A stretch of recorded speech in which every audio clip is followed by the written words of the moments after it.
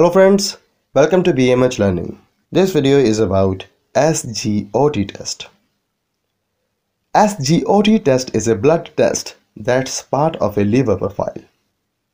It measures one of two liver enzymes called serum glutamic oxaloacetic transaminase. This enzyme is now usually called AST, which stands for aspartate aminotransferase. AST is an enzyme mostly found in the liver, but AST is also present in other parts of the body including the kidneys, heart, muscles, and brain. An AST blood test helps determine how well the liver is functioning by measuring levels of AST in the blood. Most people have low levels of the AST enzyme. Damage to liver cells can cause the release of extra AST into the blood, though leading to higher levels of the enzyme. Why it's used? An SGOT test may be used to help your doctor diagnose liver damage or liver disease. The test may be used to evaluate liver health for people who are already known to have conditions that affect their liver such as hepatitis C. SGOT is found in several areas of your body, as already mentioned.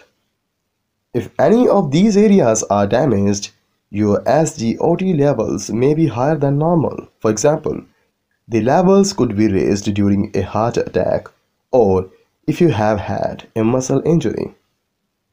But remember, the AST level is not as helpful as the ALT level for checking the liver.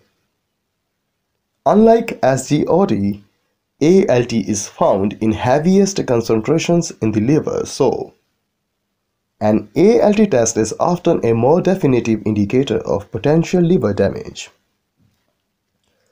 Normal AST ranges. There is not an exact range for AST levels, as levels can vary among people and still be normal. AST levels can vary depending on factors such as age, sex, weight, race. The normal range of an SGOT test is generally between 10 and 40 units per liter of serum. In general, men may naturally have higher amounts of AST in their blood. For males, 10 to 40 units per liter. And that for females is 9 to 32 units per liter. A score of more than 1000 unit per liter are very high levels and may be a sign of liver injury or hepatitis. Higher than normal AST levels can be caused by chronic hepatitis, cirrhosis, blockage in the bile ducts, liver cancer. Very high AST levels can be caused by acute viral hepatitis, damage to the liver from drugs or other toxic substances, a blockage in blood flow to the liver. Very high AST levels are usually a sign of progressing liver damage, often due to acute hepatitis. Low AST levels may indicate the following. You can have a look. That was all. Thanks for watching.